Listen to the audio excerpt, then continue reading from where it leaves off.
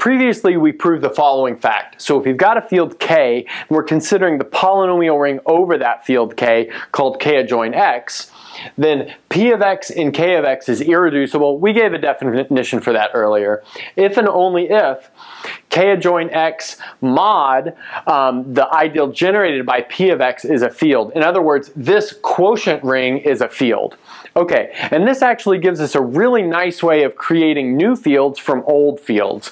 And in fact, this is the general strategy for constructing all finite fields, and that's usually that's something that happens a little bit later in such a course, but we're going to look at an example right now. Okay, so let's consider the field Z2 and the polynomial ring over that field Z2 adjoin X. And then the next thing that we want to notice is that x squared plus x plus 1 inside of z2 adjoin x is irreducible. And then how do we know that? Well, let's say it did factor, then it would have to factor into two linear factors, but those linear factors would be related to the roots. But notice that the only roots that this thing can have are 0 and 1 because those are the only elements inside Z2. But if you plug 0 into this, you get 1. And then if you plug 1 into this, you get 1 plus 1 plus 1, which is 3, but that's the same thing as 1 in Z2. So this thing has no roots inside of Z2, so that means it's irreducible inside of Z2. But what this tells us is that Z2 adjoin X mod this polynomial is a field. Great. And then how many elements will this field have? Well, we'll see that it'll have four elements. So notice that things inside of this object look like cosets. So elements in here look like this. They look like f of x plus this ideal x squared plus x plus 1. So let's list some elements inside here. Well, so notice we could have uh, 0 plus x squared plus x plus 1. So let's just rename this thing like 0. Then we could have 1 plus x squared plus x plus 1. And so we could go ahead and rename that thing just 1. And then we could also have um, x plus x squared plus x plus 1. So we could go ahead and rename this thing alpha. And then finally, we could have x plus 1 plus x squared plus x plus 1. And we could go ahead and rename that thing um, alpha plus 1. And you might say, well, what about higher powers of x? Well, it turns out that higher powers of x are not needed. Let's look at x squared plus the ideal x squared plus x plus 1. Well, notice we can rewrite x squared in the following way.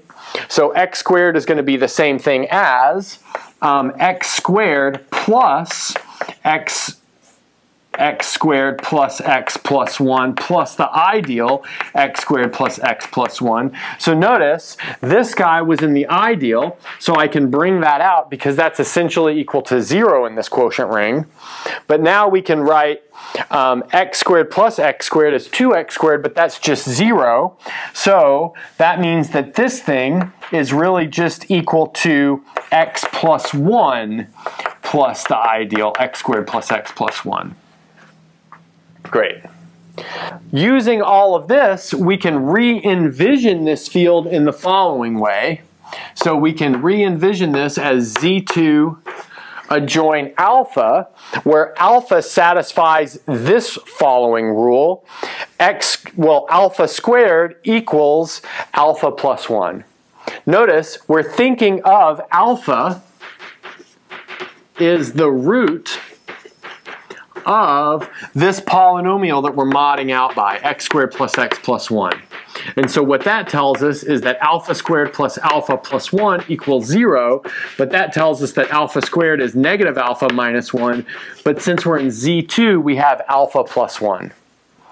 And so in other words, we can represent this set in the following way. So let's see, Z2 adjoin alpha is equal to all combinations A plus B alpha, where A and B are in Z2, and alpha squared equals alpha plus 1. Great. So using that rule, um, we can make an addition and multiplication table for Z2 adjoin alpha to show that it is in fact a field of order 4. Because notice, how do we know there are four elements? Well, we have two choices for each of these inputs. Okay, I'll clean up the board and then we'll see that. So on the last board, we argued that we can replace the cosets in this quotient ring by these kind of elements right here, um, where we have a plus b alpha, where a and b are in z2, and then alpha squared equals alpha plus 1, given that we're thinking of alpha as being the root of this polynomial. Okay, so we know that this object is a field by the fact that we proved that general result before, and then this object is just another way of writing this guy, so that means that this one is also a field. So let's get a feel for what it looks like by making an addition and multiplication table. So an addition table we'll do first. So let's see, we've got four elements. So we have 0, 1, um, alpha and alpha plus 1, 0, 1, alpha and alpha plus 1. So let's see what we get. Obviously, when we add 0, that's the additive identity, so nothing changes here. Then, we, then when we add by 1, we'll get 1 plus 1 is 2, which is 0. This will be alpha plus 1. Alpha plus 2 is just going to be alpha because 2 is 0. Great. And then we have alpha plus 1 alpha. Then alpha plus alpha is 2 alpha, which is 0. This is going to give us 1. This is going to give us 1. And this is going to give us 0. Notice that the diagonal is all zeros, and that's because the characteristic of this field is 2. Notice if you add any element to itself, you get 0, and that's the same thing as having characteristic of 2. Okay, now let's go ahead and make a multiplication table. Okay, so we'll have the same uh, kind of setup. So we need 0, 1, alpha, alpha plus 1, 0, 1, alpha, alpha plus 1. So let's see what we get for that. Multiplying by 0 obviously gives us 0 in all of the spots. Multiplying by 1, that's the multiplicative identity, so that's not going to change anything. Um, so we have alpha, alpha plus 1. Great, and now multiplying by alpha, notice alpha times alpha is alpha squared, but we know that has the rule that this is alpha plus 1. Alpha times alpha plus 1 is going to be um, alpha squared plus 1. But notice alpha squared is alpha plus 1. So that's going to be alpha plus alpha plus 1. So in other words, that's going to be 1. So that makes this 1 as well.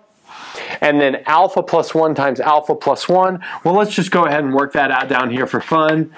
So that's going to be equal to alpha squared plus 2 alpha plus 1. Notice alpha squared is equal to alpha plus 1, and 2 alpha is equal to 0. So we have alpha plus 1 plus 1. The 1 plus 1 is 0, so in other words, we get an alpha right here. So there we've got our addition and our multiplication table for Z2 uh, join alpha. In other words, this uh, quotient ring which forms a field. And I should say that we're not going to prove this, but um, all field, all finite fields of a given order are isomorphic, and so sometimes this is called f sub uh, 2 squared or f sub 4, the finite field of order 4. I'm going to clean up the board and then I'm going to present a fact and then we'll be done. So now we're going to present a couple of facts that usually come later in an abstract algebra course or maybe a second semester of an abstract algebra course. Um, but it really builds off of this stuff we've been doing with polynomials and this example that we just did with a field of order 4. And so first off, every finite field is of order p to the r for some prime p and also they are all of characteristic p so they're all characteristic characteristic some prime. So that means the characteristic 2 fields have order 2, 4, 8, 16, so on and so forth. The characteristic 3 fields have order 3, 9, 27, 81, and so on and so forth. And you can do that for any prime. The next thing to notice is that there is only one finite field up to isomorphism of any given order. So let's say you give me the order 64, well there's only one field of order 64 of order 81, there's only one field of order 81. Order 125, again, only one field of order 125. And generally, you call that field F sub PR. Great. Um, now the next thing is how do you construct f sub p r? In other words, how do you construct that field of order p to the r? Well, you'll want to find an irreducible polynomial of degree r over uh, p of x sorry, over ZP adjoin X. So in other words, take the field ZP, and then find the polynomial ring with entries in that field. Find a polynomial f of x that's degree r and it's irreducible. So that tells you that uh, when you take the quotient, it's going to be a field. But then by some observations involving linear algebra, that's going to show you that it is a field of order p to the r. And so that's exactly what you do here. So f sub pr is isomorphic to zpx mod this ideal generated by this polynomial. Okay, so this is a good place to stop.